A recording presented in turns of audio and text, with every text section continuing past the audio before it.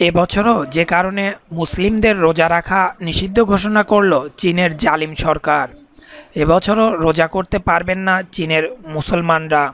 সংখ্যালঘু অধ্যুষিত সিনজিয়ান অঞ্চলে মুসলিমদের রোজা রাখা নিষিদ্ধ ঘোষণা করল সরকার। কর্তৃপক্ষ জানিয়েছে, সরকারি চাকরিজীবী স্কুল, কলেজ ও বিশ্ববিদ্যালয়ের ছাত্রছাত্রী ও শিক্ষকরা রোজা রাখতে পারবেন না।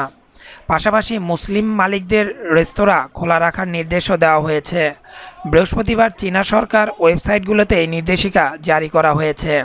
সিনজিয়াং অঞ্চলে মূলত চীনের মুসলিম উইঘুর সম্প্রদায়ের মানুষরা বসবাস করে। গত কয়েক বছর ধরে এই অঞ্চলে রোজা রাখার ওপর নিষেধাজ্ঞা আরোপ করে রেখেছেন চীনের কমিউনিস্ট সরকার।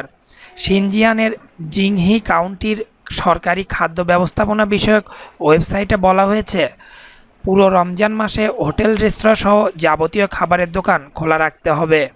উইঘুরের মানবাধিকার সংস্থাগুলো মনে করেছে, এর ফলে জাতিগত উত্তেজনা বাড়বে। গত কয়েক বছরে অঞ্চলে জাতিগত দাঙ্গায় শত শত মানুষের মৃত্যু হয়েছে।